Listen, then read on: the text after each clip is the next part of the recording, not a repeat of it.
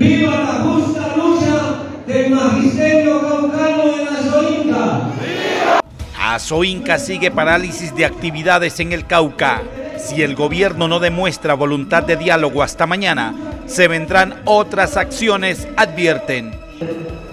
El alto gobierno de no hacer acciones contundentes hasta mañana.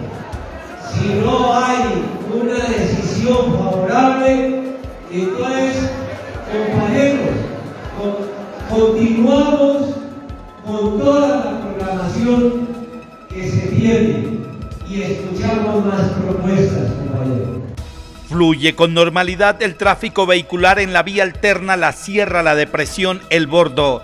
Hoy la circulación es de sur a norte. Inseguridad en Popayán. En cámaras de seguridad quedó registrado el hurto de un bolso donde se encontraba un portátil que contenía información sobre historias clínicas de adultos mayores. Procuraduría evidenció retrasos en la ejecución del programa de alimentación escolar PAE en Cauca. En Colombia, 15 entidades territoriales se rajan en el inicio del PAE, dice el ente de control. Con jornada de salud y bienestar, el Ejército Nacional beneficia a damnificados en Rosas Cauca. ¿Hasta cuándo tendrán los usuarios de la Clínica Santa Gracia soportar el tortuoso camino de herradura? Llegar hasta urgencias es una odisea. ¿A quién le corresponde este arreglo? ¿Alcaldía o clínica?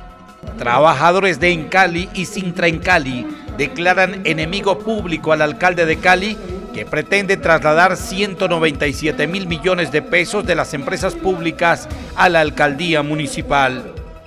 Defensoría del Pueblo en Cauca pide respuesta institucional urgente para atender problemáticas de migrantes venezolanos y haitianos que hacen tránsito en sector del deslizamiento en Rosas Cauca.